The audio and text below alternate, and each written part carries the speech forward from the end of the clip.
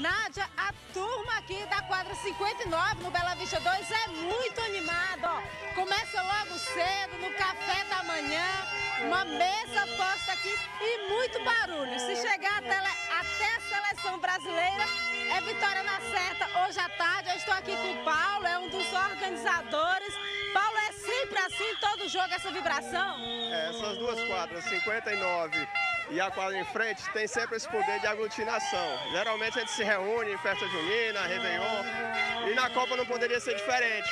Então a gente, há mais de um mês que a gente vem trabalhando nas ideias, senta para fazer reuniões, e juntou e deu nisso. Não é a melhor rua, talvez ainda, mas vai ser por conta da animação do pessoal entendeu?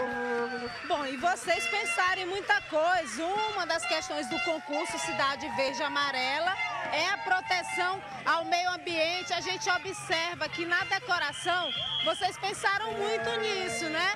Garrafas PET decorando, muitas bolas bonitas, o verde e amarelo e a família inteira aqui se reúne, todo mundo, não tem idade essa brincadeira não. Esse, esse aqui acordou foi 5 horas da manhã pedindo para vir para cada avó.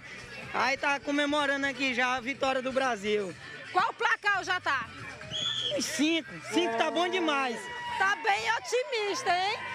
A questão da último jogo do Brasil. O último jogo do Brasil foi um empate, magrinho. Hoje contra Camarões. Vai levar quanto?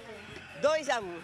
2 a 1 um pro Brasil. 2 a 1 um pro Brasil. Estamos nas oitavas de final. Estamos sim. Bom, e essa, essa animação aqui, essa animação que começa agora às 7 horas manhã com o café que já está todo preparado aqui, reforçando essa vibração para tarde.